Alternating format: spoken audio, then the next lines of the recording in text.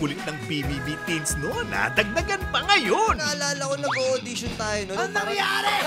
Gerald, Fred, Matt, at Mikey. Sino bang nanalo nun? Si Kim. Si Kim. Third place ako. Pero kay Kim first ka, di ba? First boyfriend siya.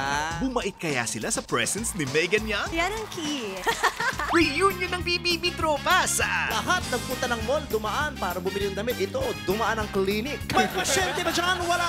Akin na yung pang love count ko. Gabi! Vice